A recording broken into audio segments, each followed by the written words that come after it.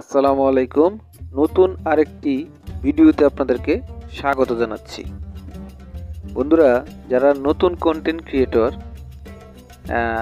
এবং যারা নতুন ইউটিউব চ্যানেল খুলেছেন বা খুলবেন, তারা শুরুতে যারা আমার মতো কোনো বেনিফিট পাচ্ছেন না চ্যানেল খুলে, শুধু শুধু ভিডিও আপলোড করতেছেন এমবি খরচ করে রাত জেগে এডিটিং করতেছেন তাদেরকে আমি বলব তাদের জন্য একটা স্পেশাল টিপস হলো, আপনারা শুধু ইউটিউবের পিছনে পড়ে না থেকে দেখুন, আমি একদম মাঠে নেমে গেছি যে আমার যে নিজস্ব যেই জমিগুলো ছিল, সেগুলোতে আমি চাষবাসে নেমে গেছি।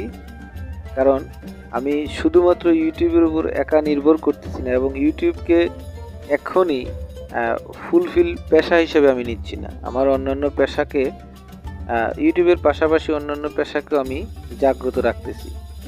তো বন্ধুরা, এই ছিল আজকের এই ভিডিওর মূল আলোচনা এবং আজকের এই ভিডিওর টপিক তো যদি ভিডিওটি ভালো লাগে, তাহলে সবাই আমার মতো জমি পতিত না রেখে এরকমভাবে ধান চাষে বা অন্যান্য চাষবাসে নেমে পড়ুন।